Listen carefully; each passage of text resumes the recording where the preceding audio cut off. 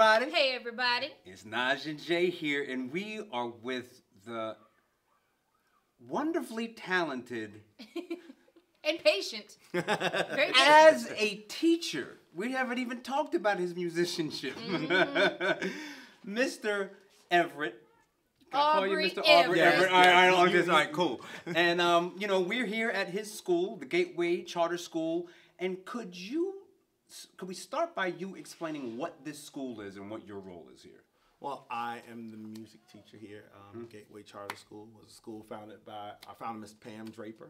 Um, it's you know it's a place where she looked into something called the lab school, which is the model that uses something called arts integration. Okay. Um, and simplest way I can put like arts integration is kind of like um, in math you might get a little bit of music and Yeah. art and, and drama to learn something a little bit better.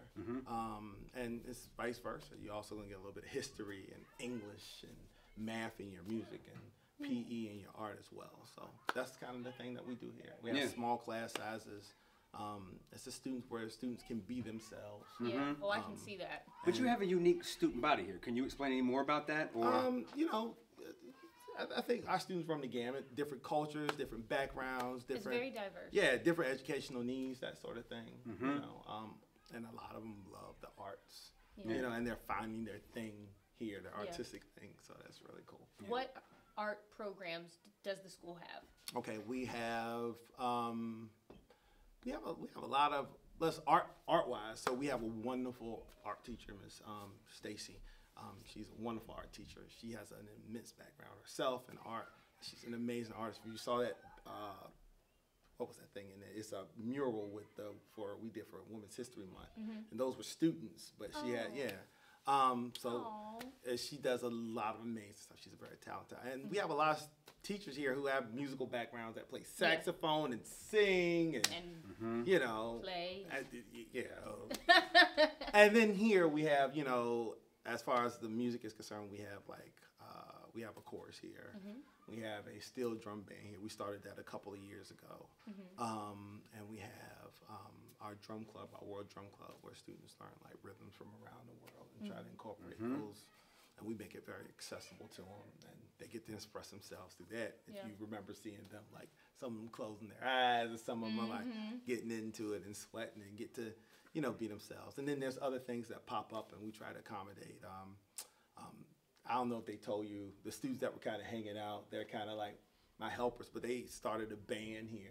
Yeah, the one guy was telling me. Yeah, yeah, he was saying that. The drummer was Yeah, saying. he yeah, yeah. So mhm. you know, um, we do a lot here. Um, part of my curriculum, I teach um, guitar. We're in the guitar unit and ukulele, and we did a piano unit. And I know Jay was here a while ago when we were teaching songwriting and things like that, and how Mm-hmm. to work with digital music. So we do a lot of things like that. And Wow. um, we had a student start a band. Like I said, they Yep. was- they started their band. So I want to, I want to make sure that I say from my end, um, you guys wouldn't realize because you just see him in the classroom and you kind of saw, you know, in the videos of the children performing. But you are a very competent musician. Like over the course of those couple of videos, number one, we know you play keyboards. You're on the drums. You mm-hmm. play guitar. Mm-hmm. You understand how to run a steel band. Mm-hmm. So where do you? ha- I mean, where do you get your musicianship from?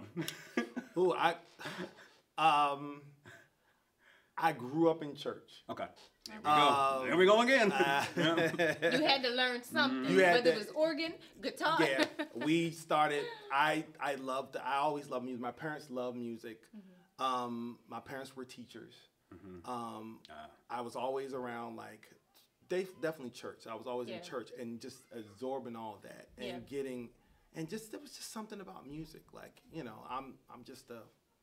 I was always like that. I play sports, you. yeah, and it moves you. I play sports, but at the same time, I was just hanging out with the marching band, and I would be around that and those type of things. So it, it was always always around, and I was just always very interested by Yeah. it. Um, I'm just interested in the arts. I used to love to draw and paint, and you know, act and do all types of stuff. You know, and Mm. just like you guys know, I've been around you guys enough to know it's it's, it's a whole art. It's just not Yes. a music thing. It's it's an arts thing. You, Yeah. you just you just have something inside of you that wants to do it. Um, and but everybody can't do what you do. But go Uh, ahead. He's a creative. Yeah. Yeah, and, and it's just you know, and I and I was you know telling people the other day. It depends on where you see me. Depends on Right, what you see me playing. What hat I'm wearing today? Exactly. everybody can't do that. So- I went to music school too. I can't do that.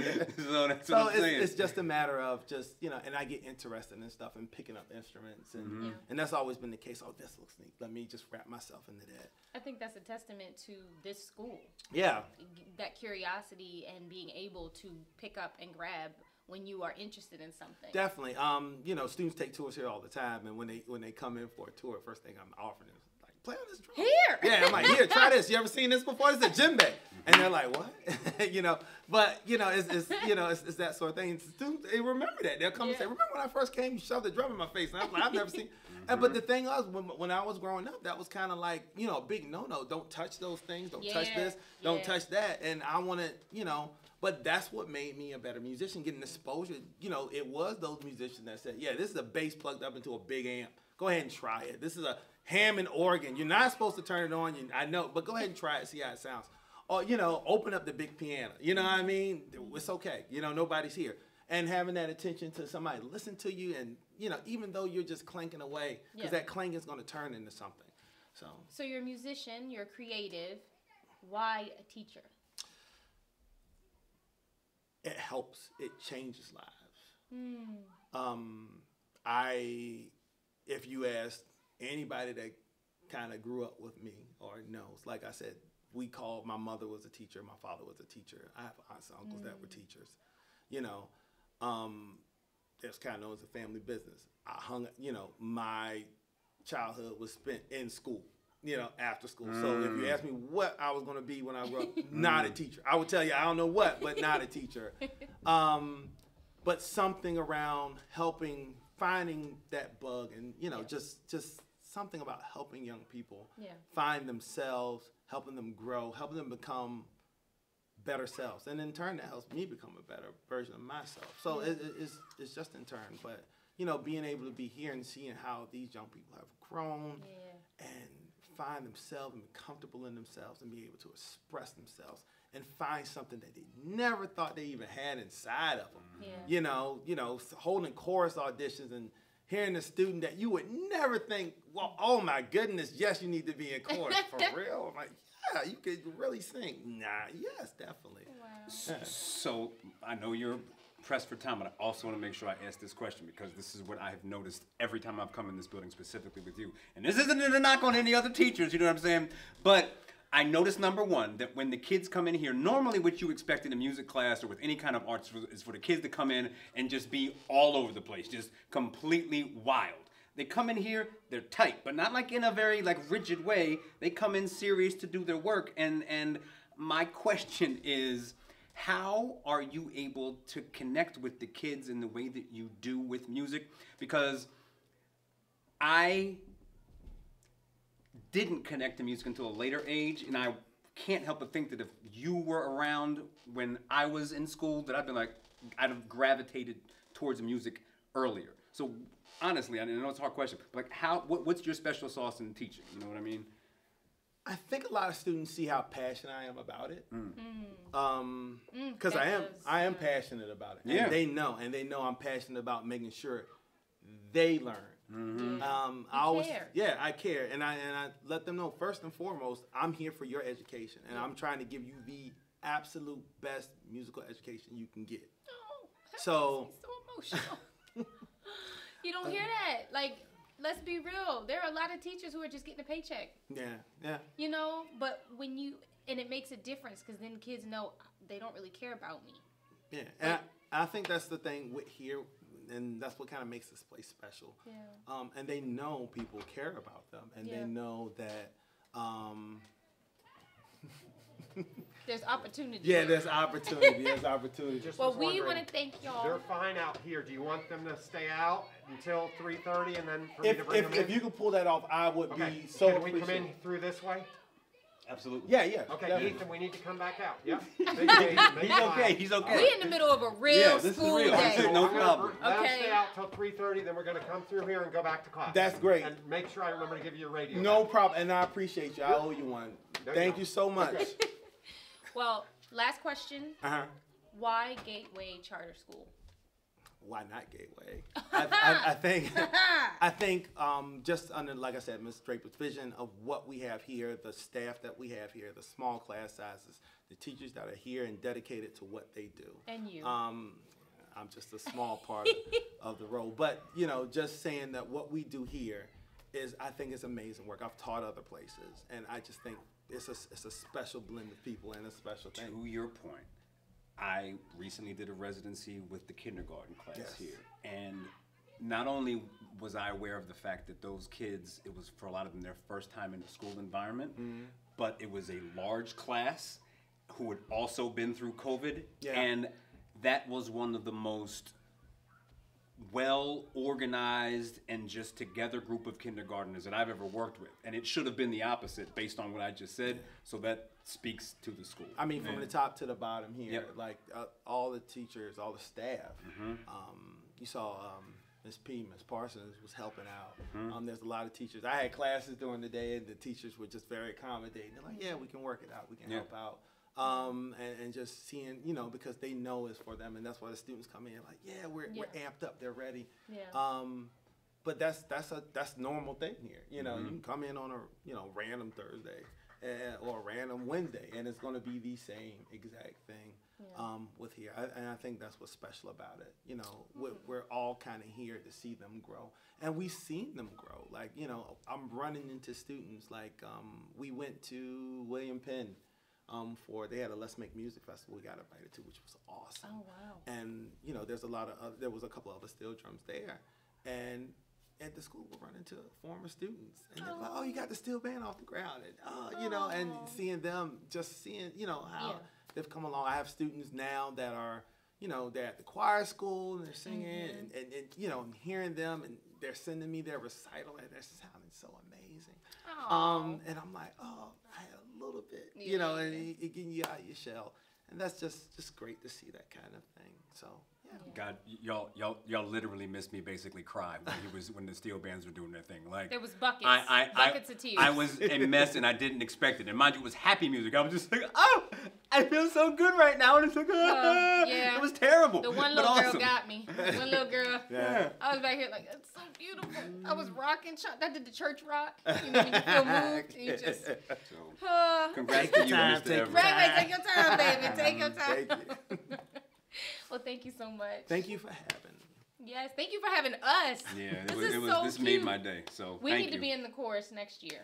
Oh, was, y'all- I was the worst chorus student ever. in Oh, the we're history gonna get you students. right. Yeah. So this would be my redemption because right, when I'm telling you that I gave my chorus teachers hell on purpose all the time, like I was the No. poster child for that. So you have dunce hats here? You know, I'm gonna get one for him, and then we're gonna be in the chorus. He but that was my it. happy There you go, there you go. Dunce hat is my happy No, hat. no, so- we're, we're, we're all accepting here. And the thing is, you, you, you guys have an open invitation anytime. to- We're gonna join the chorus. Hey. I just want to say, I mean, if you want to give me a solo, Uh, it's totally fine. all right, all right, you got it. You know, or a duet. I've, I've heard you sing before. I, I can't remember. something, I I, can't remember where, but I've heard you sing before. A little bit sunlight, you know. Jay, we're gonna we're gonna get you right. Let's do it. Let's do it. All right. Thank you guys for watching. We love you so much. Why Gateway? Why not? Everybody, this is Jay with Naj and Jay, and I am sitting here right now with three students from the Gateway Charter School, and they asked to be interviewed. So, would you guys like to introduce yourselves to the camera first and tell the people who you are? I'm Lewis. Okay. I'm Nylan. I'm mm-hmm. Leslie. And so I have a question. Yes. My question is, what do you think about Mr. Everett? I think he's a really cool teacher. Actually, Yeah, mm-hmm. I've learned to sing better. It's really out being in chorus. I've learned to sing in front of an audience. Ah. And and how does it feel to learn how to sing in front of an audience? Kind of. I mean, I mean, it feels pretty good because I went to the last concert and I was like so ready to do it. Yeah. So Okay. it feels pretty good. And now that I'm actually ready for the crowd. Okay. Now, since I saw like 15 different ensembles over the past hour, are you guys only in chorus or were you at the other two also? Uh, Steel I'm in. I'm only in I'm in, chorus. you were in steel drum. That was really cool. That blew I'm my in mind. drum club and chorus. Okay. What's your favorite? Uh, both. Okay, that's fair. Fair enough. Because drum club Mm-hmm. is hitting drums and chorus is singing. Right. Why do you like hitting the drums? I don't know. Yeah. Something that you can't explain. It's just, Yeah, no, that's I fair like enough. doing chorus only because it's for me to do my passion to sing and What's your- to learn. Okay. What's your favorite song to sing? Fly away home. Yeah. It would no her our song. It, well, Yeah. it was going to be. So, you did an amazing job with your song. That was fantastic. Do you do you enjoy singing in front of people? Yeah. Yes, Mm-hmm. absolutely. Mm-hmm. Why? Because It's a hard question. Because it just feels like when they're watching you, they're actually enjoying it. Mm-hmm. Mm-hmm. I definitely Miss enjoyed it. Naja, when she was sitting there uh, just smiling at everybody, it's like she's enjoying it. Mhm. And it's like you can and they're give not more all, energy. like depressed and sitting like not listening to it, being on their phones. you can just tell. But Being they're, on their phones, I heard Yeah. that. But if Absolutely. they're like rocking and stuff, you can tell that they're enjoying it, and you can actually indu- introduce yourself to the crowd. mm-hmm. Okay, so And if they're just sitting there not showing any emotions, they're not liking the music. so what do you do if you see that's happening? What what, what can you do in that situation? Oh, Normally, no. you would your emotions would change while you're doing the song, Okay. and it'll just. But you'll keep going. You keep going, You just never right? give up. Yeah, you, You never give up. Exactly. Because Yeah, as long as you know that some people are out there smiling, you can't never give up. Mm-hmm. Mm-hmm. Yeah. I don't have a favorite singer. I have a couple of them. I have a couple of them. Who are they? My I have favorite like singer is Mariah Mr. Carey, Everett. Beyonce. Oh yeah, Mr. Everett, Mariah Carey, Beyonce, Mr. Everett, and probably Mr. Alicia Everett. Keys. Let me give Mr. y'all y'all twenty dollars now. Mr. exactly. Mr. Mr. Everett can hit the high notes. Oh, really? I haven't Yeah. heard Mr. Everett hit the high the low notes. ones. The low ones. Okay. Last question for you guys. How do you like the Gateway Charter School? And why do you like it? he does not like it. I enjoy experimenting new things, and I think me coming to a my a cool school and being able to actually do chorus and being to enjoy everything here, I feel like I really enjoyed my year. I don't know if I'll be here next year, but I feel like this is a school I would rather go to again. Mhm. Why? Cause it's like I have a lot of friends. I'm doing things that I've always wanted to do. I've never been in front of a crowd actually singing, but this school has helped me go through that. That's So, awesome. I like. Um, I like Gateway because it's kind of like like last year when I was in fifth grade, there wasn't all these different things before middle school. Mm-hmm. Like I was in a different school before I came here, Mm-hmm. but there's not a bunch of stuff like here. Like there's not steel band, chorus, or drum club. Yeah, you have a lot of music so at this school. there's only there's only instruments like like that I couldn't play. mm-hmm.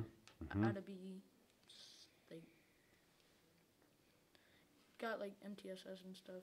I didn't get a good grade, so I didn't get to play that. Mm, that's all right. But you're having fun doing this. Mhm. All right. And at my old school, I didn't used to get good grades, and this school has really helped me. And now I get really good grades. I have honor roll. How has the school helped you? Like the teachers and stuff, they like explain things more, Mm-hmm. and Yeah. like they can just help you with anything you need help with. Take for example, Mr. Everett. He Mr. has helped Everett us helps through the whole journey of our songs, and he never gives up on us. He and just he gives us time and explains things. Yeah. really I love that you just called learning a song a journey. I think that's fantastic. I think that's that's that's fantastic. What do you want to be when you grow up? Quote. You don't have to know. I'm just curious. I would be a singer actually. Okay. Okay. What about you? I feel like that would A be my singer. passion. Singer? And you, sir? Uh, guitarist. Okay. So all Also- music. All Music, guitarist and singing. You know, country stuff or something like that. Okay. I it's love it. like singing is like everything I love. I just Yeah. sometimes I just want to sing my little heart out. Mm-hmm. Mm-hmm. Is there anything else that you all would like to tell the people before we end end this little interview? Um, you can actually make it even if you don't want to do anything. Come to Gateway.